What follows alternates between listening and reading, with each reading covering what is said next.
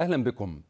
في الحرب الأطفال هم دائما الحلقة الأضعف ويواجه أطفال غزة تأثيرات كارثية مع استمرار الحرب على القطاع للشهر الخامس. إذ يموت الأطفال بمعدل مقلق فقتل 13 ألف طفل وأصيب ألاف آخرون ويقدر أن مليونا وسبعمائة ألف شخص في القطاع هجروا داخليا أغلبهم من الأطفال. ووفق منظمة الأمم المتحدة للطفولة يونيسيف فإن معاناة معاناة الأطفال تتفاقم مع حرمانهم من الماء والغذاء والدواء. معنا في حوار خاص للجزيرة مباشر من جنيف جيمس إلدر المتحدث باسم منظمة الأمم المتحدة للطفولة يونيسيف. أهلا وسهلا بك. عدت مؤخرا من أوكرانيا التي تشهد حربا مع روسيا وكنت قبلها في غزة فمما شاهدته كيف تصف تأثير الحروب على الأطفال؟ وما الفرق بين وضع الأطفال في غزة وأوكرانيا؟ التأثير كبير جدا. الوضع بالنسبة للأطفال في غزة يزداد سوءا كل يوم وذلك لأنه ليس هناك وقف في وقفا في إطلاق النار. وذلك نتيجة استمرار القصف والغارات وأيضا لأنه في غزة لا يصل ما يكفي من المساعدات المياه والطعام إلى هؤلاء الأطفال. وإذا هناك الآن مشكلة الأوبئة والأمراض إلى جانب الدمار الناتج عن القصف. لن أقارن مع أوكرانيا فالأطفال معرضون هناك لتهديد يومي. الحروب مختلفة ودائما ما يكون وقع الحروب مدمرا قاتلا على الأكثر هشاشة وهم الأطفال بالتأكيد يعني نهتم بحال الأطفال في كل مكان ولكن فيما يتعلق بالاستجابة لأوضاع الأطفال في غزة وفي أوكرانيا كيف يمكن المقارنة بين ردود الفعل الدولية هنا وهناك؟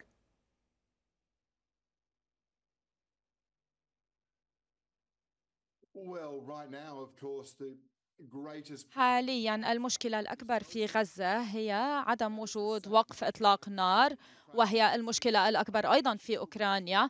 الأطفال ما زالوا يتعرضون للهجمات يوميا. الاختلاف أيضا هو عدم إمكانية إدخال المساعدات اللازمة إلى الأطفال في غزة. نحن قادرون على إدخالها إلى أوكرانيا ولكن لا ندخل الكميات اللازمة من الأدوية والأغذية والمياه. ولذلك في غزة نرى زيادة كبيرة في مستويات انعدام أو سوء التغذية ولا سيما في الشمال. هذا أحد أوجه الاختلافات منع وصول المساعدة إلى الأشخاص الذين يتعرضون للهجوم في غزة. من يتعرض للهجوم في أوكرانيا على الأقل يمكننا مدهم بالمساعدات. سابقا وصفت حياة أطفال غزة بالمروعة وأنهم يعيشون في الجحيم. وفي مرة أخرى وصفت تقييد المساعدات بأنه حكم بإعدام الأطفال الآن في الشهر الخامس للحرب كيف تصف أو ما هو الوصف المناسب لحال الأطفال في قطاع غزة؟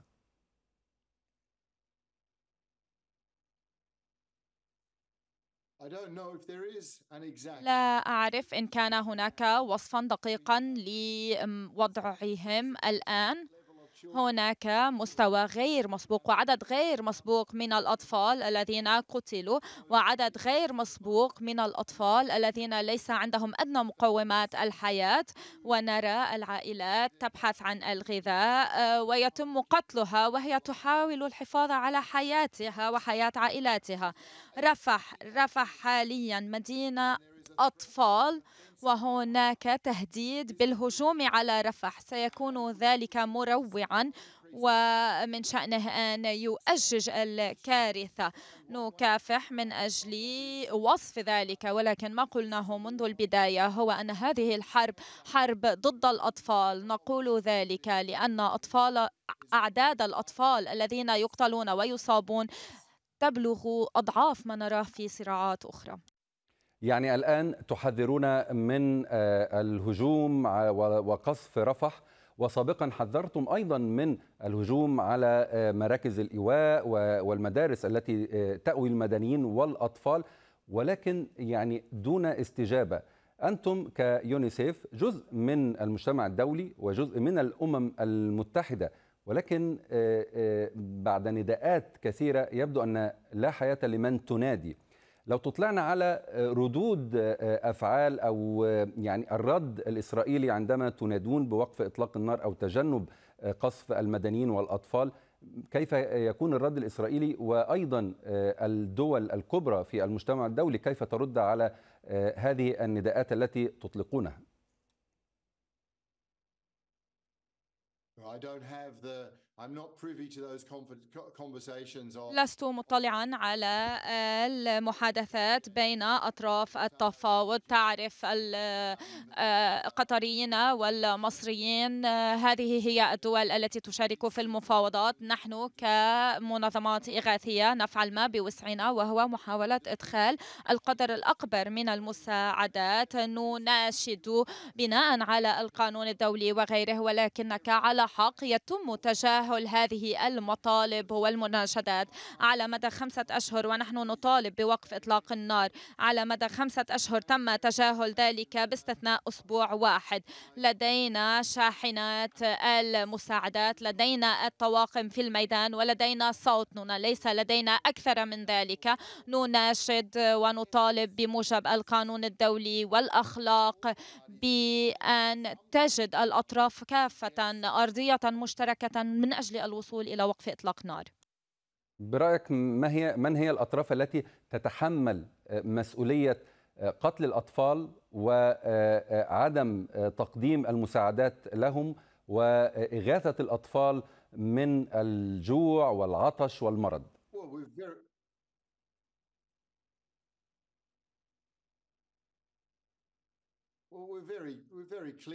نحن واضحون جدا حول كيفية خوض هذه المعركة أو هذه الحرب. يونيسف كانت واضحة تحدثنا عن الطبيعة العشوائية للهجمات تحدثنا عن منع وصول المساعدات قلنا مرارا وتكرارا ليس هناك أي شك عن من يتحمل المسؤولية. كنا واضحين كنا واضحين منذ البداية المسؤولية المتعلقة بالتناسب بالهجمات العشوائية بعدم حماية المدنيين والمستشفيات بحيث تدخل المساعدات.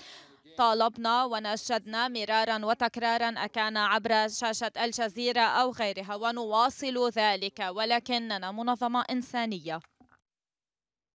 13 ألف طفل قتلوا في غزة بما يفوق من قتلوا في أكثر من 20 صراعا في العالم. أما أن الأوان لاتخاذ إجراءات وفقا للمعاهدات الدولية والقانون الدولي والقانون الإنساني لإنقاذ أطفال غزة من الجوع والعطش وما الذي يمنع ذلك برأيك؟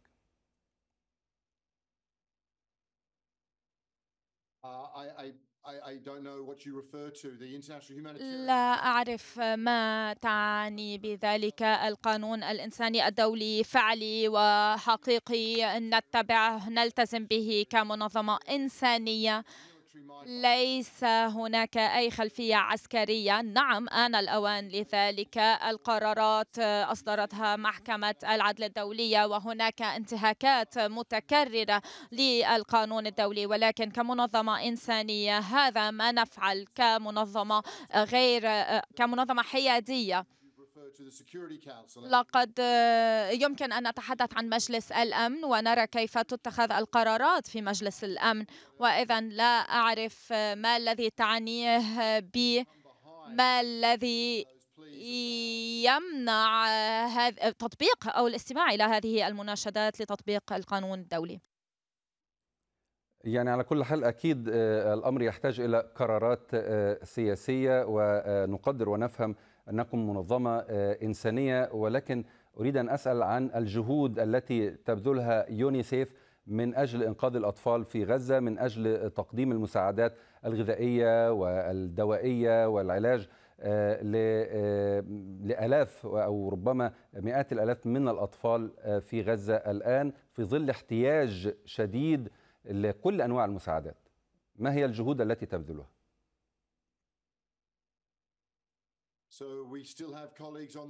زال عندنا زملاء كثر في الميدان في غزة يتم التركيز في التوزيع على توزيع الأدوية المياه. والملاجئ. نعرف أن الطقس ماطر. هذه المسائل الثلاثة ركزت عليها يونيسف. ينبغي أن نعرف أننا لم نتمكن من إدخال قافلة من هذه المواد الأساسية إلى الشمال هذه السنة. هذه السنة لم نتمكن من إيصال المساعدات وإذا التوزيع متركز في رفح. عندما ننظر إلى معدلات سوء التغذية إنها أعلى ثلاث مرات في الشمال من الجنوب. ذلك يحمل آه، أو آه، له آه، رمزية عندما نتمكن من توزيع المساعدات إلى الناس الذين يحتاجون إليها بشكل ماس. عندما نتمكن من آه، إيصال المساعدة يكون لها أثرها في رفح. عندما لا نتمكن من الوصول إلى الشمال عندها يكون هناك الارتفاع الكبير والفتاك في سوء التغذية والذي نشهده الآن.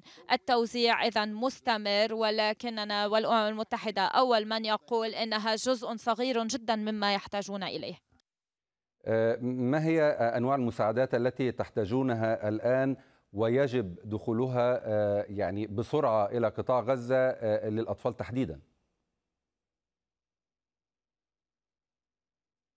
Food, water.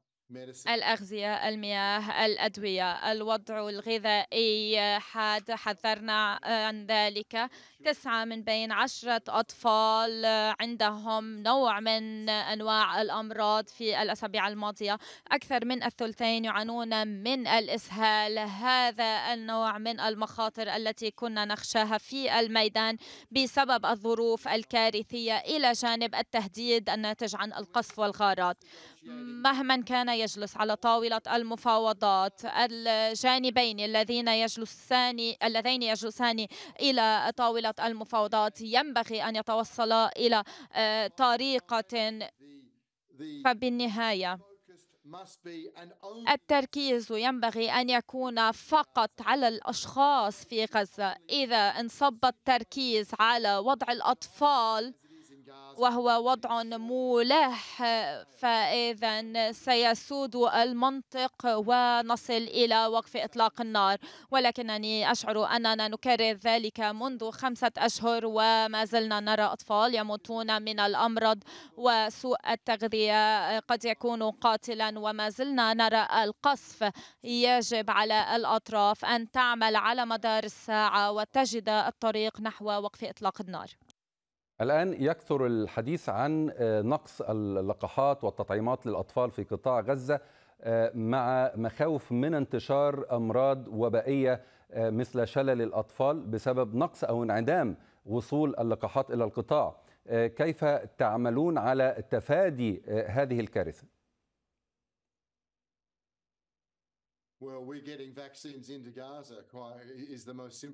إدخال لقاحات إلى غزة هو الطريقة الأسهل. ولكن تخيل أننا نحاول القيام بعمليات التلقيح الاعتيادية. غالبا ما تذهب العائلات إلى المراكز الطبية أو المستشفيات. ذلك غير ممكن عندما أتواصل مع الزملاء في الميدان.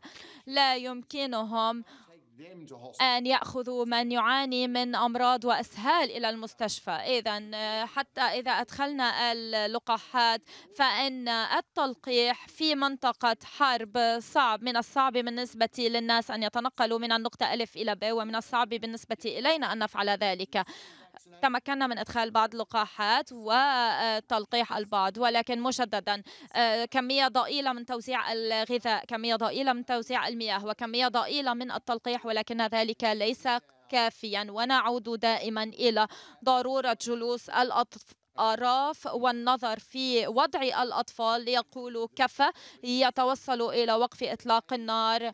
إذا أوقفوا إطلاق النار اسمحوا بوصول ودخول المساعدات لا سيما إلى الشمال ليتمكن الناس من آه، تنفس الصعداء وبعد ذلك يمكن التفاوض حول ما سيحصل بعد ذلك. لدي آه، سؤالان. آه، الأول أريد أن أستثمر وجودك معنا آه، سيد جيمس. وأريد أن أسأل عن الوضع في السودان مع تفاقم أكبر أزمة نزوح للأطفال في العالم آه، في السودان بالأرقام. آه، صف لنا الوضع هناك وما هي جهودكم لاستيعاب الأزمة.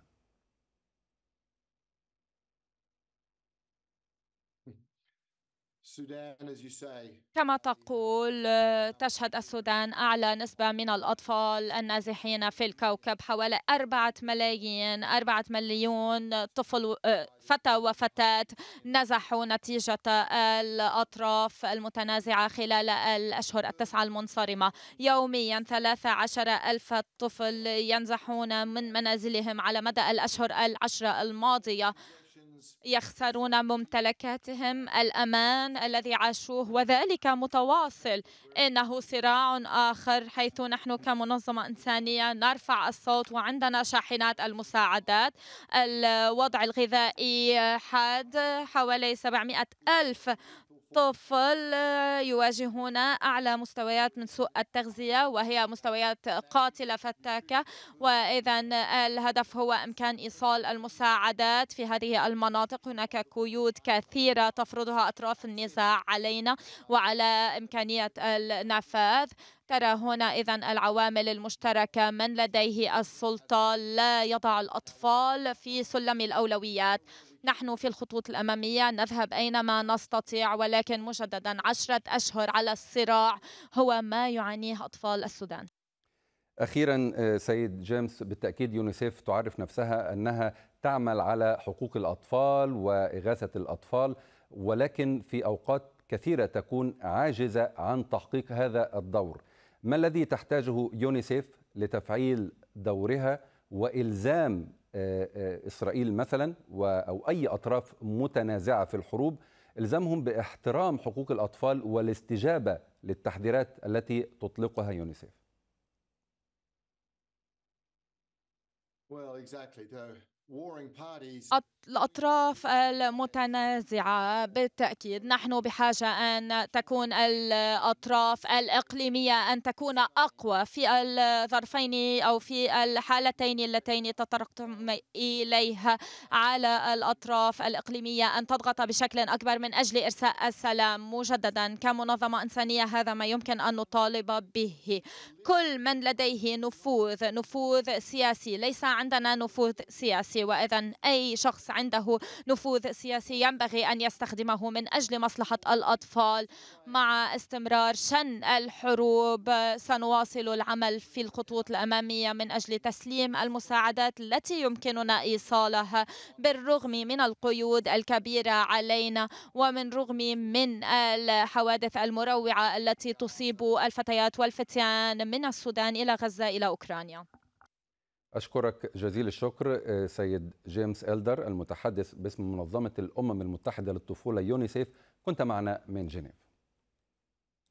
كذلك أشكركم مشاهدينا على المتابعة وإلى لقاء آخر بإذن الله. إلى اللقاء.